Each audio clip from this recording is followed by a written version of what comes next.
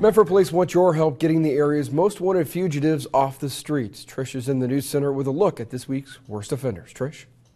Thanks, Rick. I'm here with Lieutenant Mike Budreau from the Medford Police Department. Thanks for being here with us tonight. Um, now, before we show you a few suspects who are still wanted, we do have um, a group that's been arrested. Yeah, very good week for arrests. We arrested five folks. Uh, a lot thanks to some tips. We got tips on Crystal Nelson and Shana Campos, and we arrested them.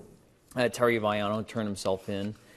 And then a couple other folks, Amanda Nelson, she was picked up on a shoplift, so she has new charges. And Juan Zamora, he was arrested on additional charges as well. And some of those uh, suspects look a little familiar. Did we just show them last week, some of them? Yeah, these are all folks that we've actually profiled within the last month. Okay. So again, right, it seems like uh, we started getting tips shortly after profiling them. Okay, perfect. Uh, now let's move on to, uh, we've got three suspects right now to show you that are still wanted. Uh, police believe they're still out there, they're still on the streets, and you guys are still looking for them. Exactly. We uh, let's start off with Shehan Michael Boehme. He's 27 years old. He is wanted for a parole violation, uh, for a weapons offense, and then an, also a separate warrant for an assault.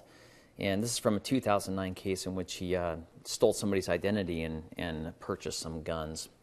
then the assault's another case as well. He's been uh, one of our frequent flyers. Oh, okay. So in and out of the system then. He really is. Yeah, he just got out of prison.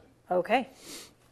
Moving on to uh, Eric James Nires. He's 40 years old. He's wanted for a parole violation on a burglary charge which stems from a case where he burglarized a neighbor's residence who were moving out. And uh, we ultimately did a search warrant on his house and found those items in his house. And he was put on parole and he's violated his parole. Okay. And then the, the final suspect uh, for now. Yeah, Jeffery uh, Randolph Blackwood. He's Okay. 20 years old.